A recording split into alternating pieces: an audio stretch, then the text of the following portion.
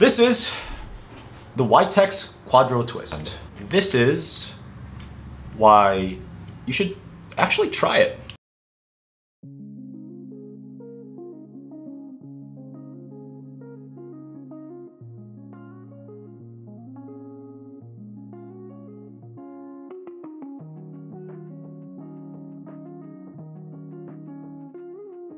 YTEX is a US based tennis string manufacturer. Now, I don't know if they have their manufacturing on US soil, I highly doubt it, but at least the company is headquartered in the US. The owner is an absolute savage of an amateur tennis player, so he is representing, in part, consumers, such as himself and me, which is absolutely fantastic to hear.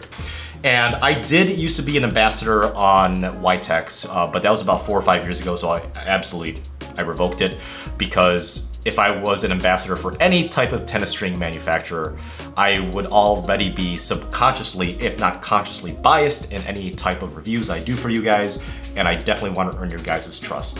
Speaking of ambassador, I'm actually now a Swing Vision ambassador. I will tell you more about that and what it means for the channel towards the end of this video if you guys are interested. The Quadro Twist is the flagship poly of the YTEX string company and it's coming in at about $15 a packet and about $190 for a full 660 foot reel. A lot of my people on Discord have been asking me to, to do this review so I'm glad I could finally get around to it and I'm glad that this is going to be part of the conversation for a very good consumer friendly tennis string. So if you guys want to be part of that conversation, I'll leave a link to my Discord down in the section below. And if there is a question that you guys have that I haven't addressed concerning this string or anything else tennis related, I do live stream on Tuesday, Thursday, and Sundays, both on YouTube Live, and I also hop on Twitch soon after to play some video games like World of Warcraft right now.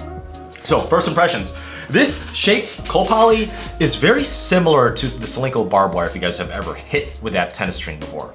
So similar to the Solinco barbed wire, string this absolutely sucked. It tore up my fingers and I had to be especially careful, even with the string weaver, about not destroying the grommets and also not notching the crosses when weaving back and forth.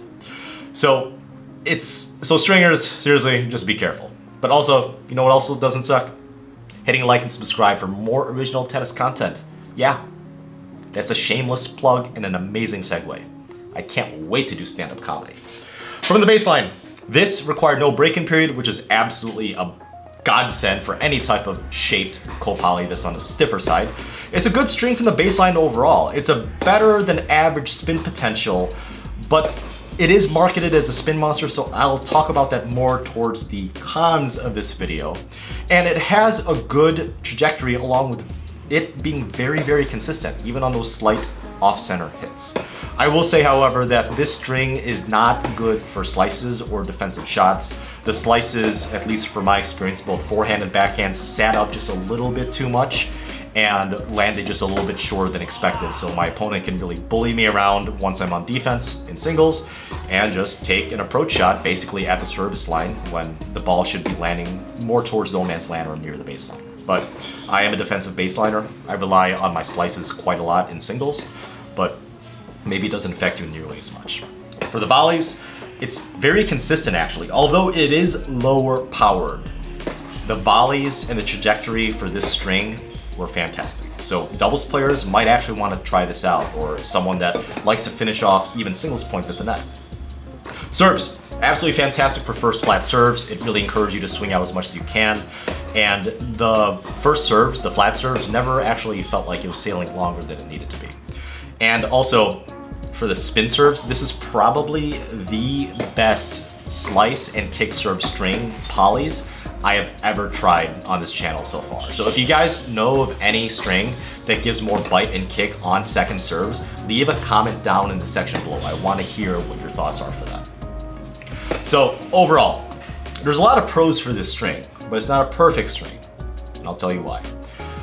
I like seeing new companies on the market. Competition breeds excellence for both the product and service and also the consumer, such as you and me. This is one of the most consistent strings I've ever play tested. Even on the slight mishits and off-center hits, the ball went where you expect it to go, although it might be a little bit shorter.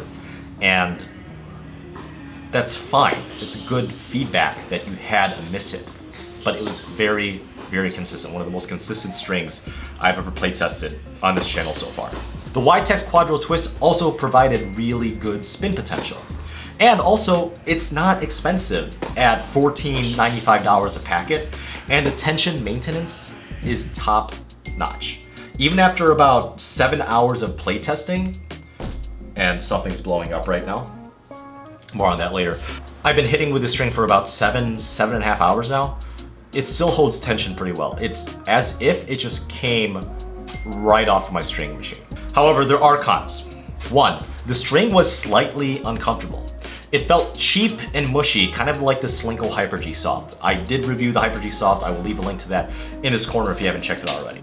Although this is marketed as a spin monster in every online retailer and also the homepage of YTEX, I'll leave a link to that also in the description if you guys want to check it out. It's not amazing with spin potential. I had significantly more spin potential off of the Solinco Hyper G and also the Solinco Confidential. In fact, I honestly think that the Yonex Polytour Pro might have the same amount of spin potential than the YTEX Quadro Twist. But the issue is, the Yonex Polytour Pro, it's a round poly. And finally, I'll close that. Also, it's a little bit more expensive than I would expect it to be. For what the YTEX Quadro Twist can offer, as a product. I would be happy to pay 10, maybe $12, but I think 15 is a little bit out of the price range for regular consumers. However, if there are any YTEX ambassadors listening to this video and you're willing to share what the wholesale price for the Quadro Twist is, please leave a comment down in the section below and I will definitely pin it to the top to where everybody can see. This test was with my Babolat Pure Aero VS strong at 52 pounds, and this was also with the 16L gauge because I couldn't find a 16 gauge anywhere to be seen, to be play tested. And yes, uh, I am demoing rackets right now, so um, I'm on my Yonex V-Core 98 demo, and I will leave a link to that tennis racket review soon, hopefully by the beginning of next week, because I am looking for new rackets because my Babolat Pure Aero VSs are a little bit cracked right now internally. Yes, I'm also part of the Swing Vision Ambassador program now, so that's where my B-roll footage is. So if you guys are curious on Swing Vision, I will leave a free trial to the pro version down in the description below, and yes, it does help out this channel, but I would try it out. It's free. So, on to the next one. As always, guys, Happy hitting.